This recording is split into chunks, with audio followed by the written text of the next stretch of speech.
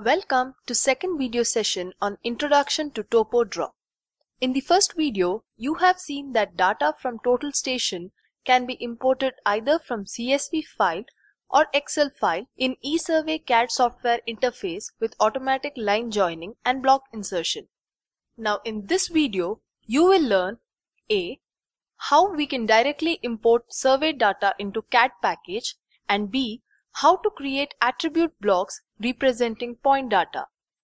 Importing total station data directly to CAD interface is preferred by many users. eSurvey CADD allows user to import point data directly in CAD packages like AutoCAD, BricsCAD and ZWCAD. Select Direct Topo Draw menu item from Topo Draw sub-item of eSurvey CADD menu.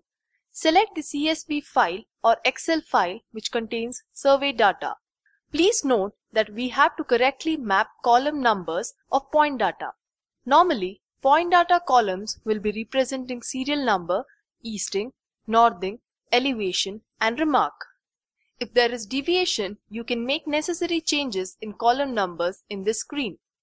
Direct Topo Draw does not offer features like automatic line joining we still recommend importing data through software interface if you want to import point data with many automation. However, Direct Topo Draw helps you to quickly import point data to CAD software.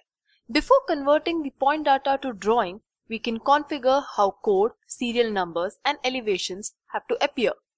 We can also mark how far they have to be from point coordinate.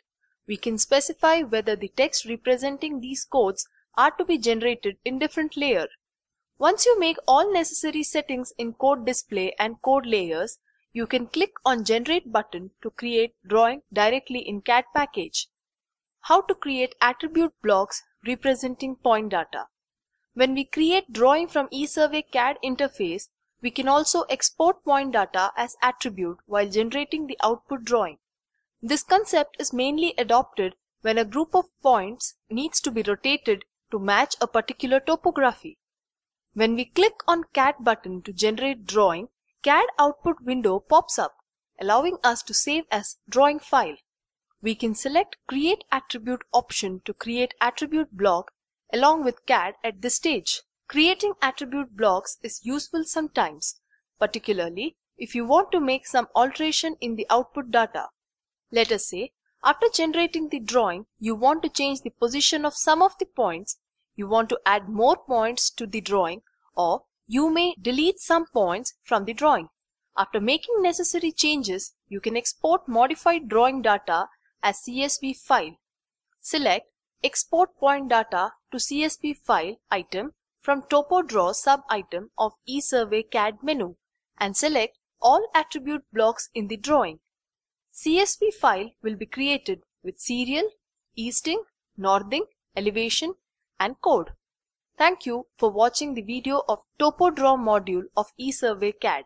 Please visit www.esurveying.net for more details about easy to use infrastructure design and engineering solutions.